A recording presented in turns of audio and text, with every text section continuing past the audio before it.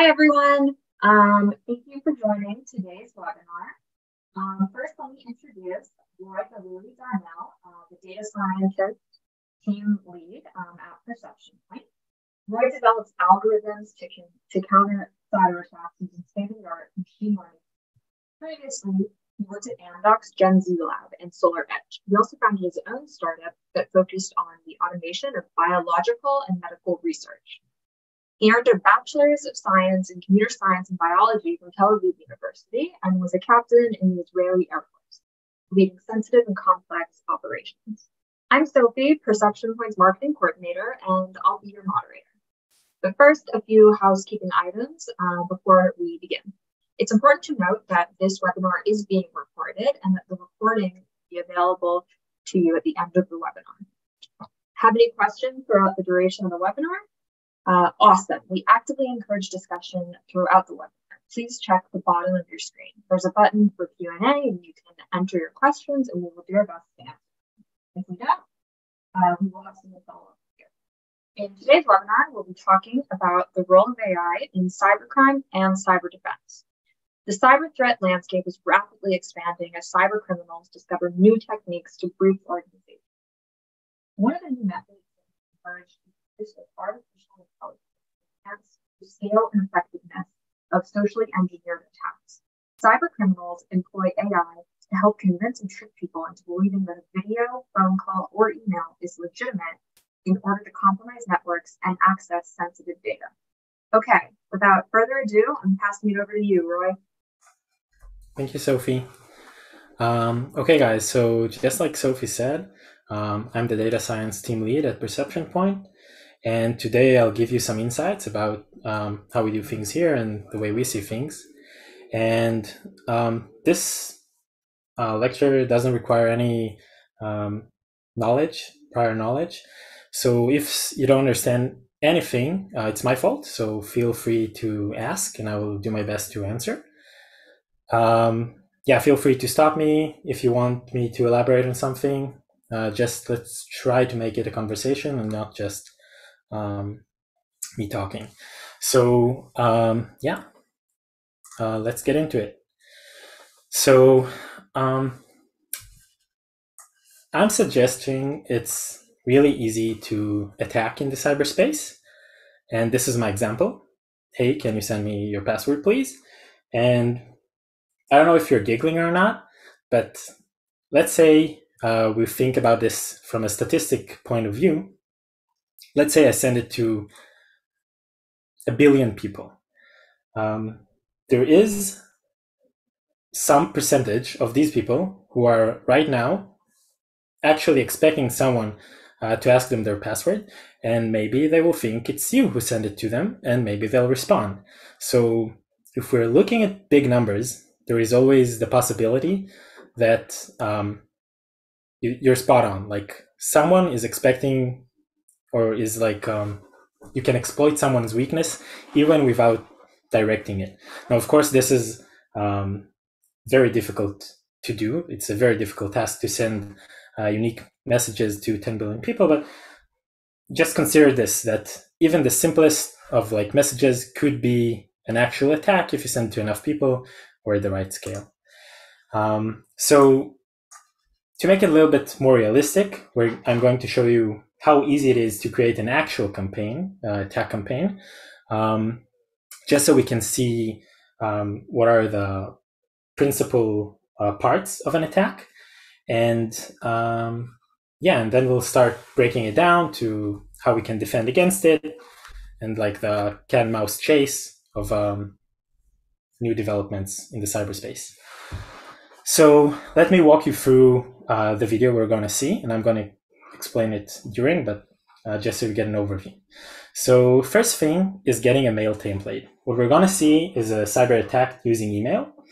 And the first stage is to have an email template. Uh, we're not going to create an email ourselves. We're going to generate it automatically using a tool. Then we're going to build a website, which is a phishing website. It's not an actual website. It's a website which is designed solely to steal your credentials. Uh, and again, this is a template. You don't have to write any code. It's a different tool, and we're going to use that tool in order to create the website. Um, then we have a few more settings to set, which are, for example, who are we going to send it to? What do we want to do with the uh, stolen credentials, etc. And finally, we need to launch our campaign. Now, after we've done that, we'll change perspective and we'll move to the victim's point of view and we'll see what it looks like from their perspective. Um, yeah. So what I want you to notice is that although some things might look complicated, um, none of them involves code. They are all tools you can download, and you need some knowledge as to how to use them, but you don't need to be an actual coder. So all you have to do is know how to run some tools, uh, which are not that difficult. Uh, so let's see what it looks like. Um, right. So first we have some settings to run. Um, these settings are nothing special. They're just like uh, an email account uh, you've set up somewhere. Um, and this is our victim. And let's say we somehow obtained that victim's email. Maybe we scrape it from their website. Maybe we bought it on the dark web. Um, maybe we're guessing it. And this is just testing from um, our tool to see if the tool manages to send emails, and it does. And now what we want to do is create a template. So now we're adding a template. We're generating a template using uh, Zphisher, which is a tool. And this template is what we're going to send to our victim. So in this uh, example, we're creating a Gmail template and the target email because we want it customized. And now we have it generated.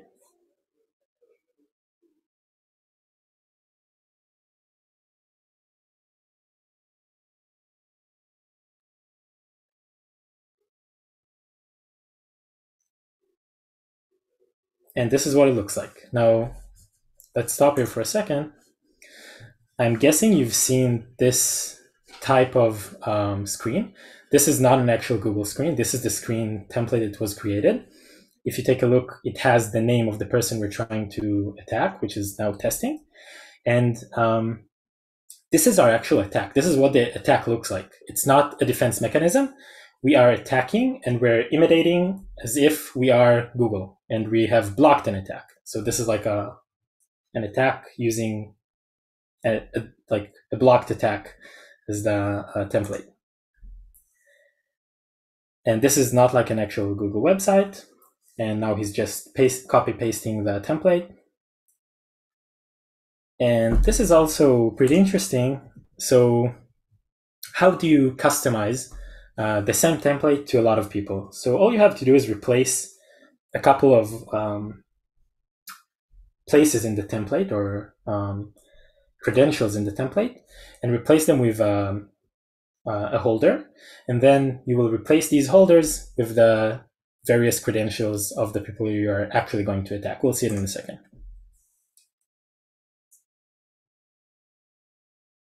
So the placeholder, for example, here is the email, the email placeholder.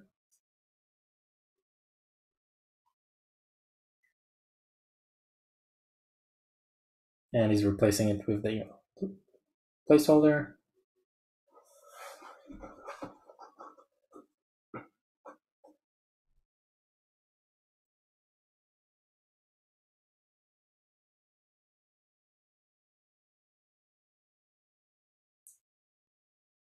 And now he's replacing the URL that the credentials will be sent to. And now he has a template for the attack. Notice he didn't know any code, he didn't write anything, just copy pastes.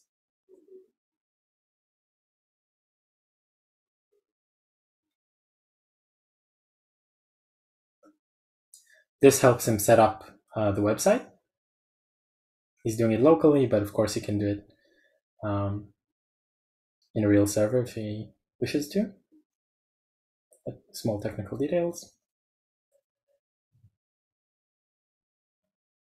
Now he's importing the website that he wants to use with the custom template. And now he's adding the victims. And now he's creating a campaign. So an attack campaign, um, like maybe you want to run multiple campaigns because you're a pro phisher and um, you don't want all of them to be the same. Maybe you want to attack different companies at different times, different schedules, depending on the time of um, the day, um, depending on the regions, etc. So you can run multiple campaigns at the same time. Maybe you want to change different things like uh, environment parameters to make it difficult uh, for the defender to identify where it came from.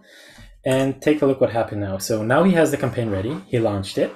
And now he has like the status of the campaign. Look at how nice the GUI is for that uh, phishing tool. And he can see an email was sent, like that's the attack. And here he just sent one email. But as you can see, he can just add here as many lists or CSVs as he wants of potential victims. And you can send it to all of them, the same campaign with one click. Um, and now let's see what it looks like from the other side. We're changing to the victim's point of view. We got a message and it looks like there was a, sign-in attempt and Google blocked it. So of course we want to check the activity because we want to verify that nothing bad happened. And we reach a website which looks legitimate and Google asks us to sign in. Looks legitimate because we want to see um, what was blocked. But of course, this is the phisher's website, and by entering the credentials here, we're actually giving it away. And now we just lost our password. And it looks like everything went well, but in fact, um, the attacker just got our credentials, and this is what it looks like, very organized. He clicked the link, when, from where, he has some information about us, um, and he has our password. And yeah, our organization is breached, our personal information is breached, whatever. Okay, so what's the takeaway here? Um, not go be a hacker, it's really easy, but that being a hacker is very easy. Like creating massive campaigns is very easy. And as we will see in a second, the numbers of attacks is increasing rapidly every year, uh, by the month actually. And it's very easy to understand why. It's so easy, right? Uh, we don't have to learn how to code. We just need to know which software to download. And this is exactly why defending the cyberspace is so important um, because it's just a very big problem. Um, okay, and just before this is was like a head start, just to give you some motivation as to why this is important. But um, I know we're going to talk about uh, AI, and I'm going to give you, try to give you some intuition about like machine learning, and I just can't ignore uh, all of the generative models that are running uh, wild right now. I'm sure you've heard of at least like DALL-E or uh, other generative models which are out there, Midjourney maybe. And these are examples. So everything here was generated by a computer. Uh, this is not a great song, but it's a song I generated with one click of a button. These images weren't were never created by humans; they were generated by computers. And what I want you to think at this point is like, how can we how can we use as defenders and as attackers this technology um, for either reason or uh, way, and then we will discuss it. So yeah, just putting on the table that this is like uh, actual capabilities which are available to anyone. So what will the lecture look like? We're running through some uh, angles of attack, just giving you a very high level overview of um, what cyber attacks look like.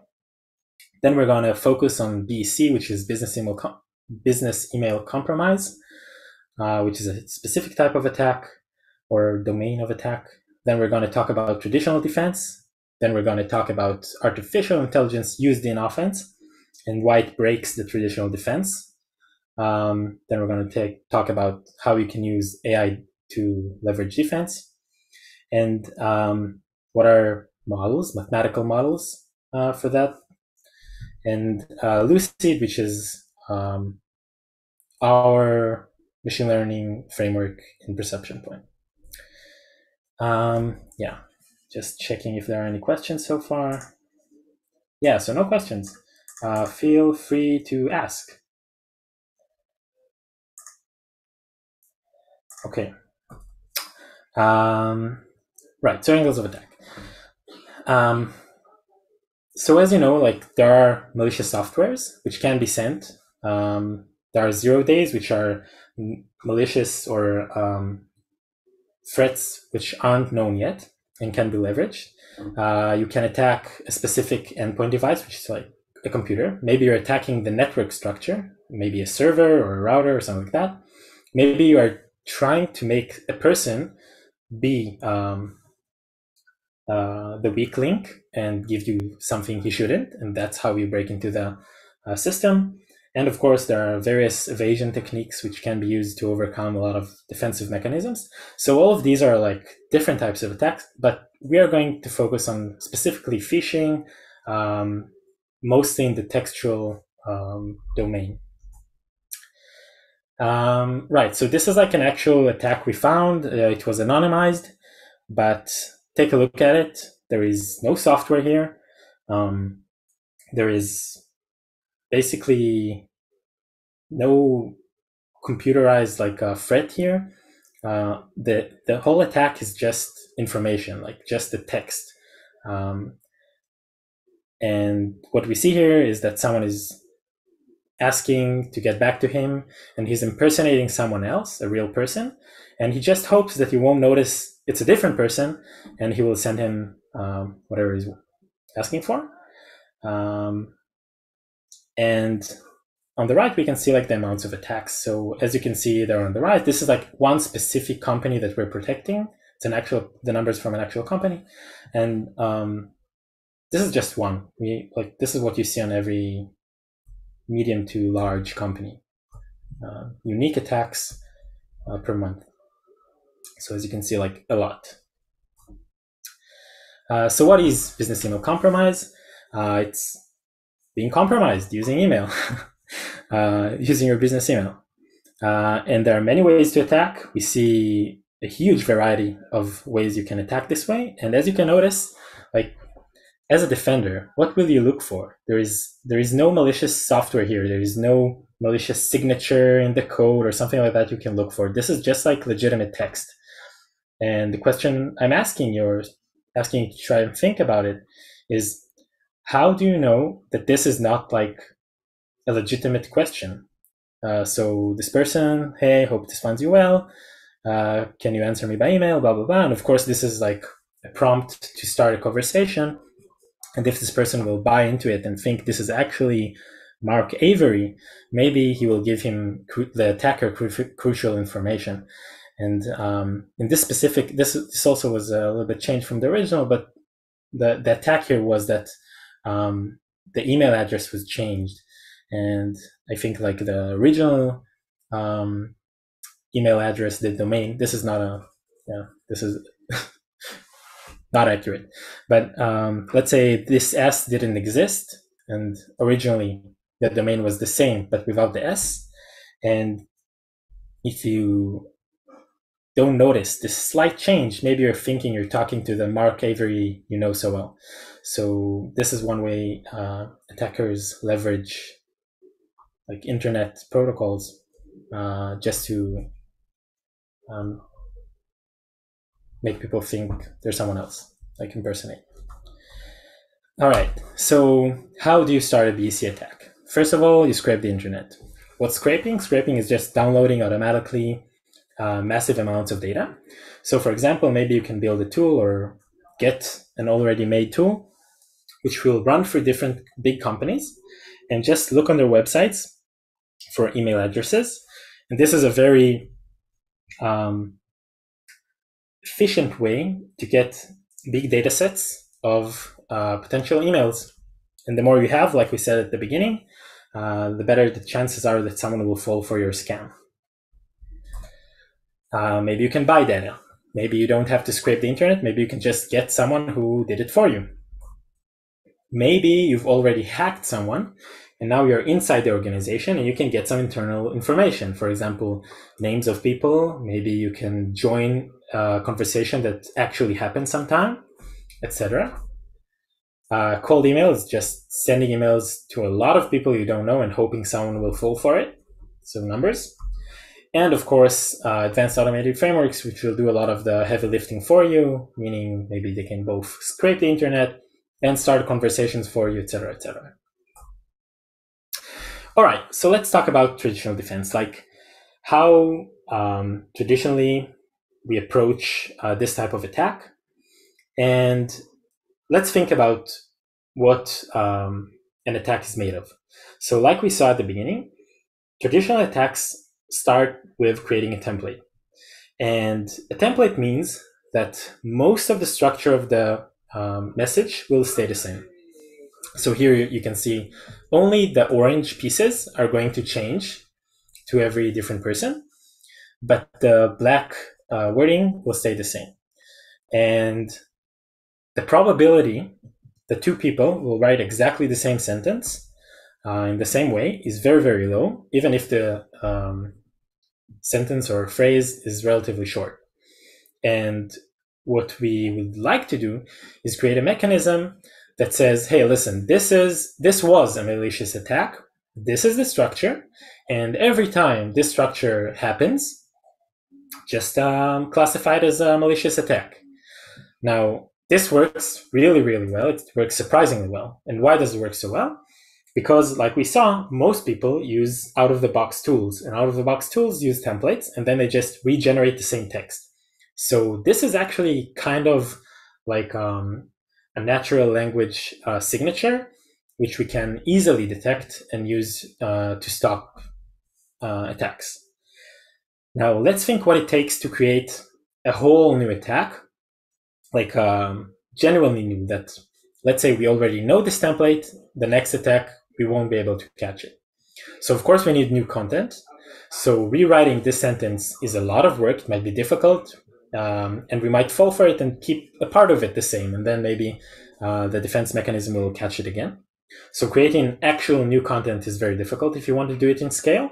Like do it 10 times is fine, but if you want to send it to a million people, it's very difficult. And you need new offensive infrastructure. So we saw um, our researcher doing it earlier in the video. Uh, and as you saw, it took some time. So maybe you can find automated tools which will do it automatically, but it's not that easy to create a lot of new infrastructure which uh, changes dynamically all the time. And of course, you need to get new targets every time. So again, there are tools, but it's not that easy. Uh, so creating one campaign is easy, but creating campaigns which change dynamically is a much more challenging uh, task. And let's talk about like the defensive um, mechanism used here. So I don't know if you thought about it, but there is one serious drawback of that mechanism, which is unless you've seen this attack, which I assumed you already know is malicious, you don't have this template. So until someone tells you, hey, listen, you missed this one, there is no way you can stop it. And this is, of course, like a major drawback of traditional defense, which is unless you have um, prior knowledge or cyber threat intelligence, which is very reliable, you have no chance to uh, manage uh, new attacks which you haven't seen before. Um, yeah.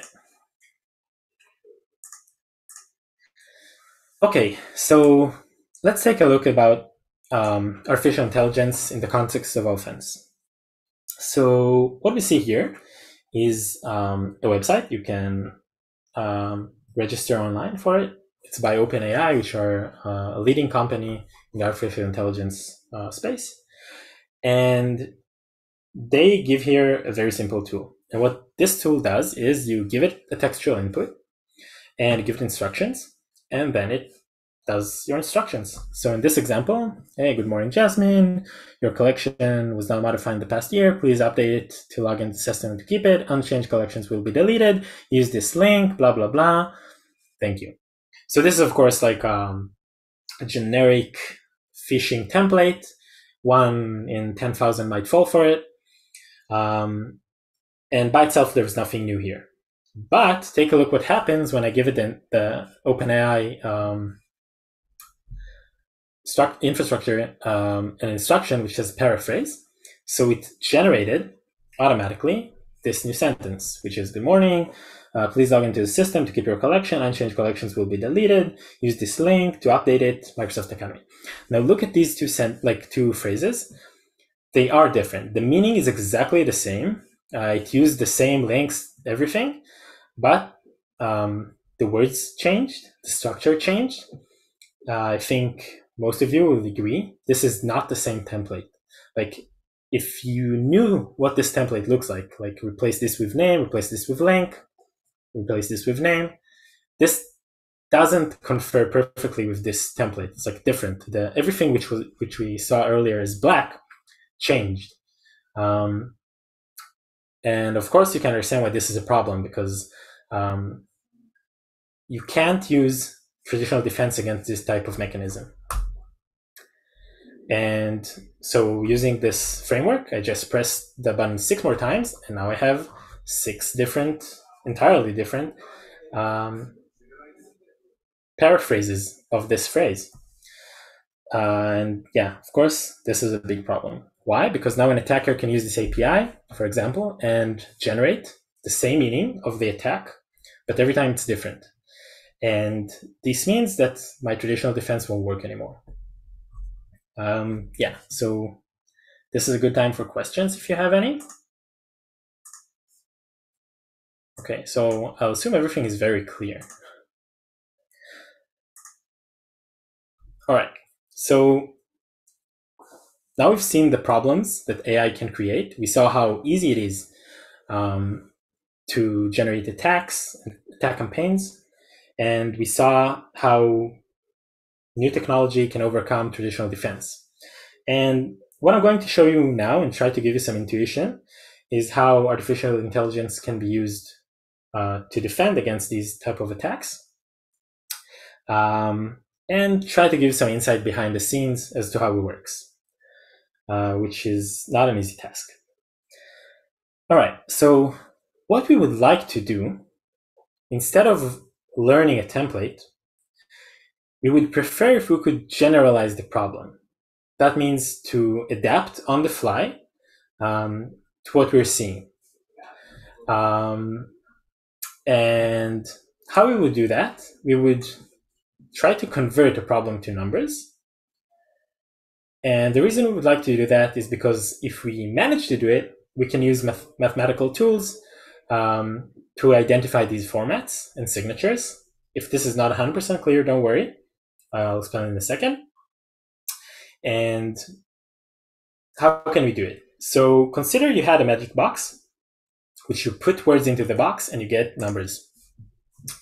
Uh, so for example, morning translates to 12, sunrise translates to 14, elephant to 145, etc.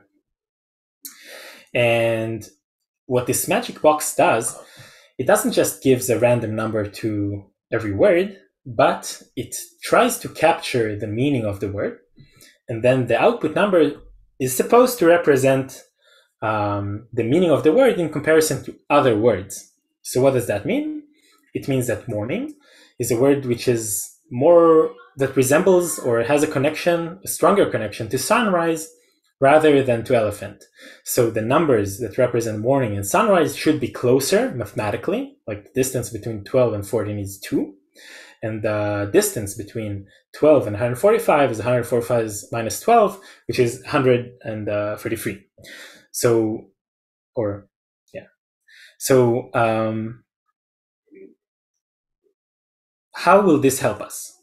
This will help us because we no longer, if this works properly, we no longer really need to find a template. All we have to do is say, hey, listen, this is an attack, and I'm going to save the number of that template or the number of that example. And if I see a very similar example to that, I don't care about the template. What I care about is the meaning. And if the meaning of both of these is very similar, then maybe the other one is malicious as well. So this is like a very, very um, high level intuition as to how uh, turning words into numbers uh, might work. And I'm going to show you both like how a system like this might work. Uh, but before that, how can we create this magic box? So this magic box is called word embeddings. Um, I think like the original technology was developed maybe a decade ago. Uh, if you've ever heard of uh, word2vec, and imagine that instead of a single number, I can represent every um, word or a sentence in a lot of numbers. And the lot of numbers in the list is also called a vector. And um, how can we find these magic numbers? So let's talk about words. Um, let's say I go through the whole Wikipedia, like the whole knowledge in Wikipedia. And every time I see two words next to each other, I bring their numbers closer. I start with maybe random numbers and I just bring them closer. And every and um, over time, what we would expect to see is that uh, words that are seen in the same context get closer to each other. Um, so consider uh, I drank coffee in the morning or I drank coffee at sunrise. These both make some sense, right? So maybe we'll see them getting close to together after a while. But um, I drink coffee in elephant is a very unlikely sentence, and maybe I'm the first person ever to say it. So their numbers might be very distant from each other. So this is like, of course, it's a little bit more complex, but this is like the general intuition. And maybe this seems uh, unrelated, but we'll see in a second that it relates very strongly. Let's talk about models. Models. So I'm not sure if you've heard the term models, like mathematical models, before. Uh, but what are models? So models are basically like this red circle you see on the screen. and I'll explain what it does. So this is like um, a simple graph.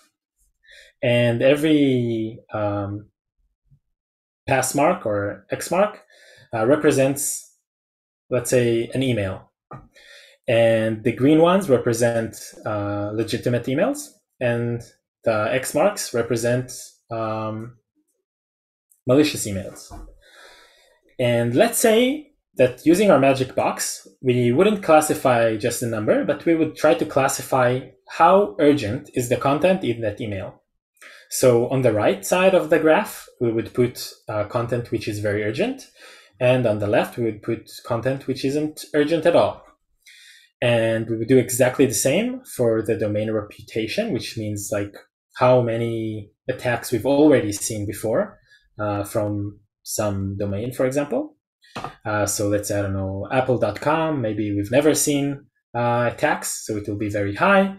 And I don't know, maybe some random site website, tiny website domain, we've only seen attacks from, so it will be very low and we collect a lot of data, a lot of what's called label data that we know if it's bad or uh, good, and we put it all uh, on this graph. And what we can see with our eyes is that uh, domains with good reputation, uh, where the content isn't urgent at all, are grouped together and they are all clean. And very urgent content with, from websites that had very low reputation are always bad. Uh, so this is like simple logic. And what we would like to do, like the model, will be that this circle here, which circles all of the bad examples. Now, how do we use this circle? So let's say now we don't know these uh, samples anymore, but we remember the circle. Next time we get an email, if it falls in the area of the good reputation and low content urgency, meaning outside of the circle, uh, we might claim that it's legitimate. But if it falls inside the circle, we would claim that it's illegitimate because we've seen a lot of examples that when the content is urgent and the main reputation is low, then um, the content is malicious. Now, this is what a basic model looks like. It's just um, a line or a lot of lines in some space and they just try to help you classify, uh, in this example, um, what's malicious and what's clean. I'm doing a simplification here. There are other, other types of models, but this is like a basic classifier model. And now I'm going to try and give you like intuition as to how you can build such model. Uh, of course, the model that uh, we would like to build is a classifier of emails that classifies whether an email is clean or malicious. But unfortunately, this is a very difficult and complicated model to model. Uh, so instead, we're going to classify a sentence, whether it's hot or cold. Um, so we will see what it means in a second. So let's say I have a sentence, and the sentence can be a single word, could be multiple words.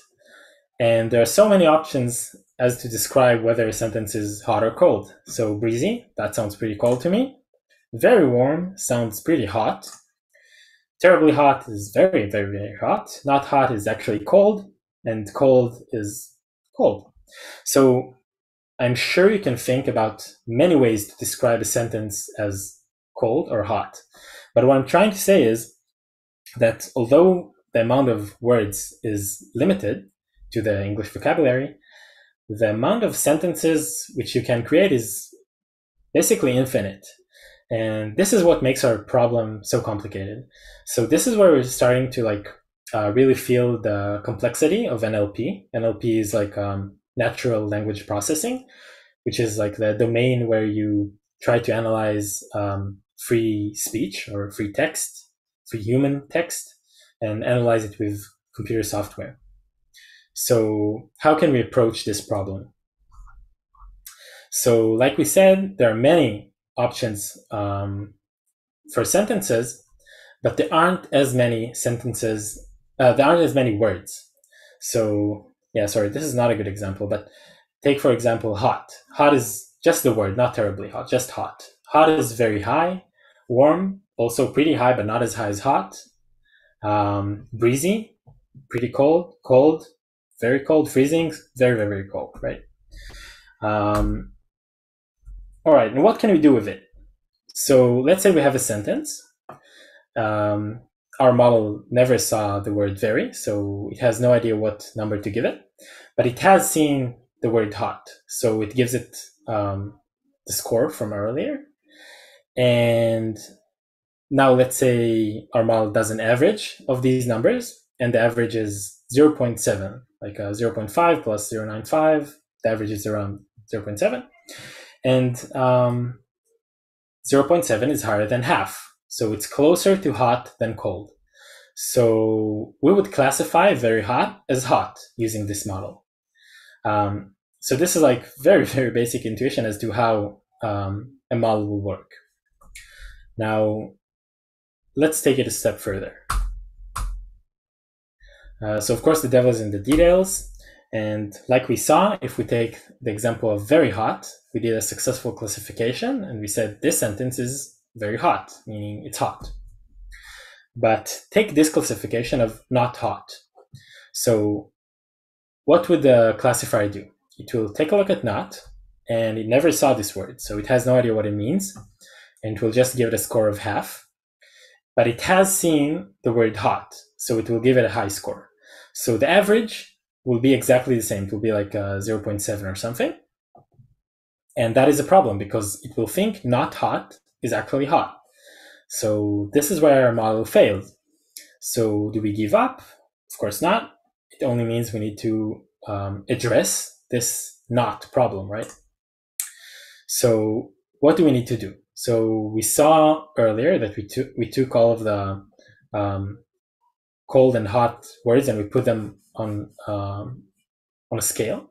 And now what we're going to do is take um, the words which represent like amount and put them on a different scale, like a totally different scale, different space.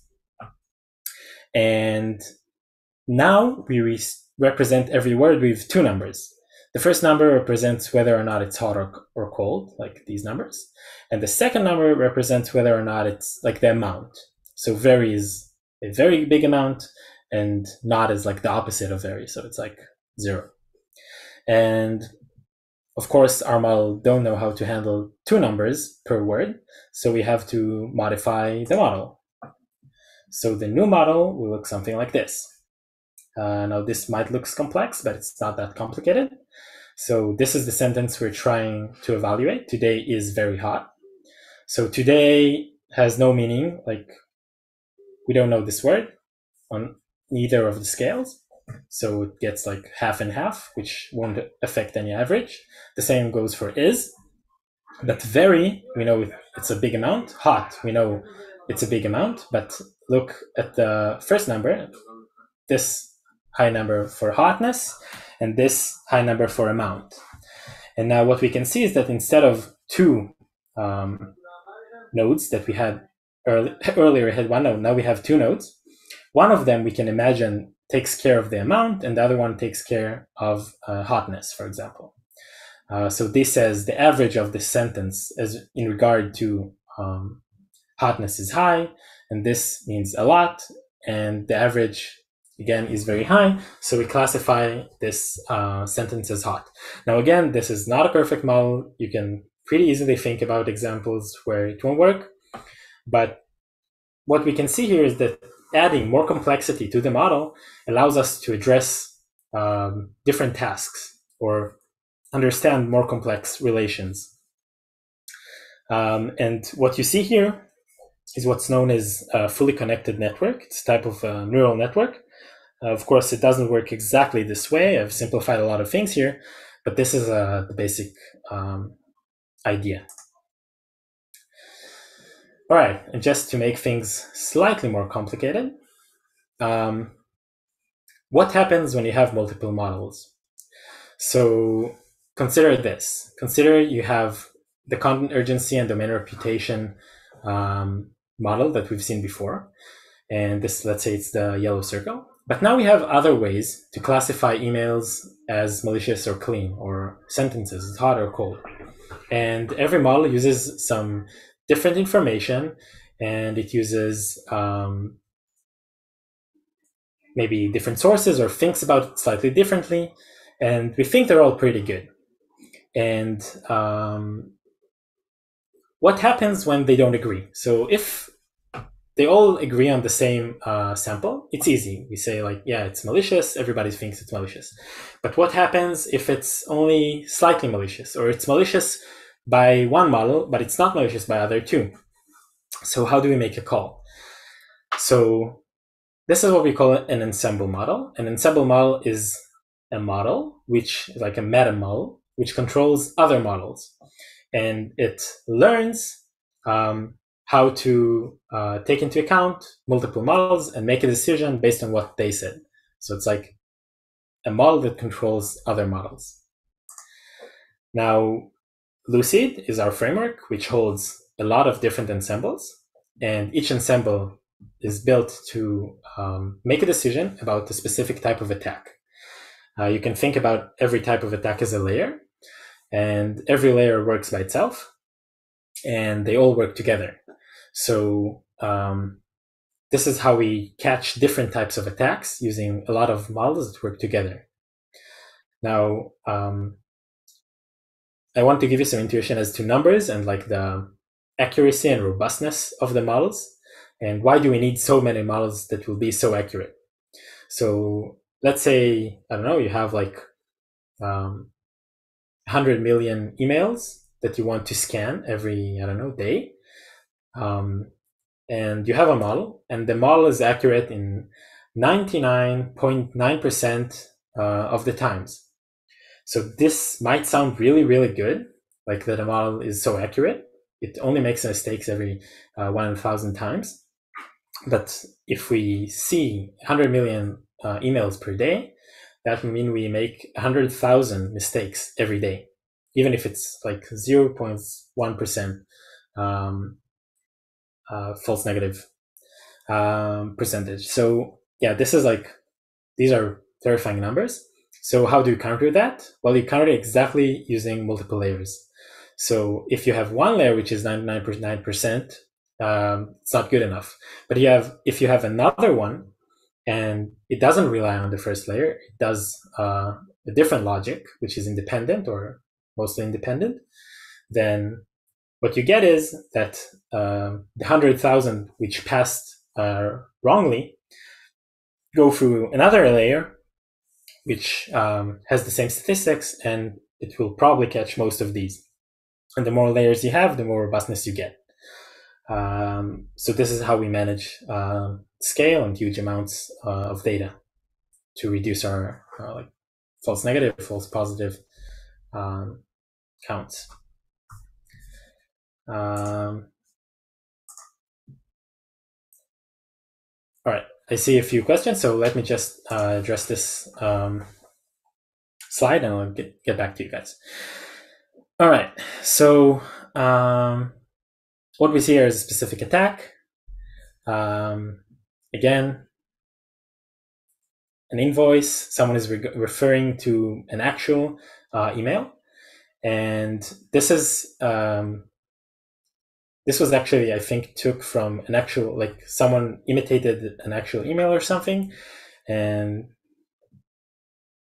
they, there is no template which looks exactly like this, but this was caught by an artificial intelligence model, defense model, uh, that uh, noticed that although these sentences haven't seen before in exactly this way, their sentiment or like their essence has been seen before in many malicious attacks, and therefore this uh, is also a very um, big suspect.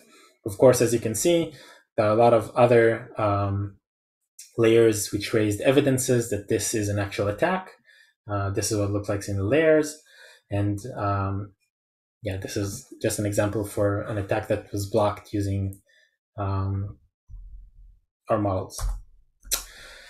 Right, so let's get back to you guys. Uh, feel free to add as many questions as you like. This is a great time.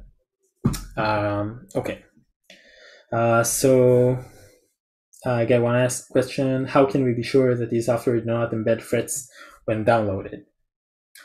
Um, not sure what type of. Um, so I, I think um, that's referring to the initial um, the initial video that you were showing. Oh, oh, you can't. This is like the initial video I showed is uh, how to attack, and I would not uh, consider attackers or like people who build attack tools to be reliable, and I would not recommend downloading them.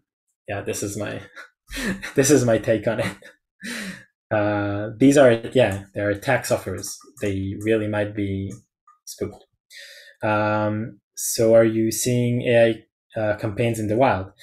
Uh, also, excellent question. Um, we see some like it's very difficult to know if uh, a campaign how a campaign was made.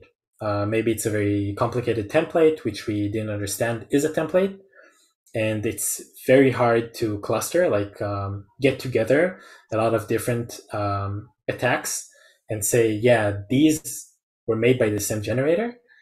Um, so it's much more difficult than grouping templates.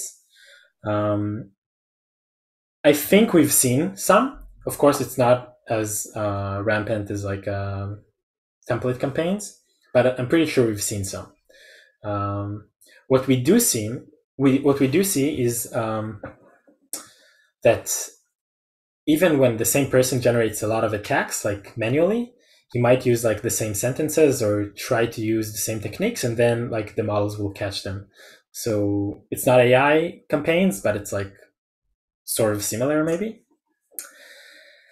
Um, right how does pp determine reputation of domains and senders?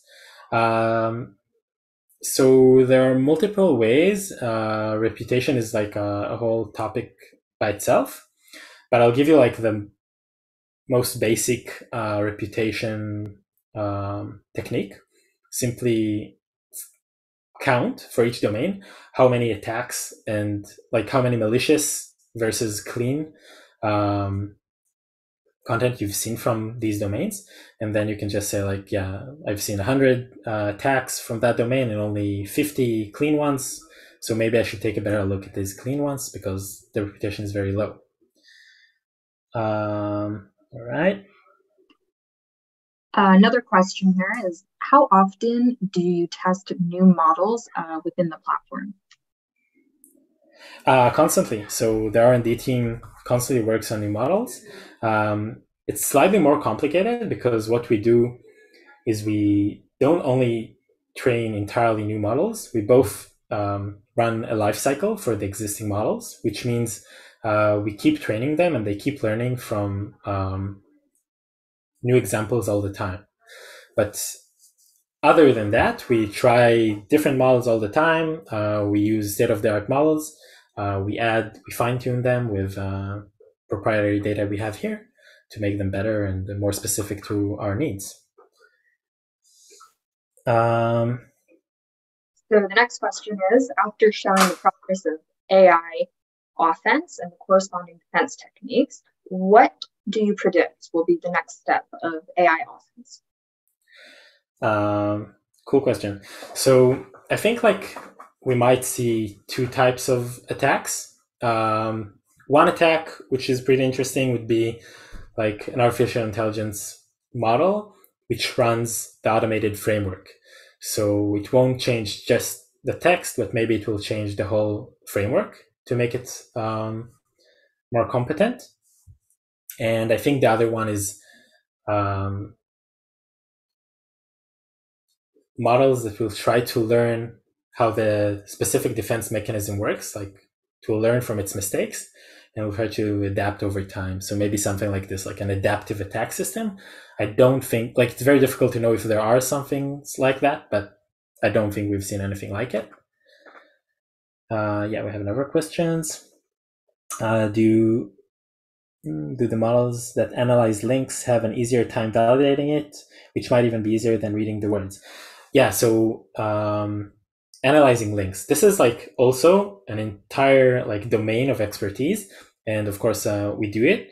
Um, so very very high level uh, speaking here, there are two ways um, to validate links.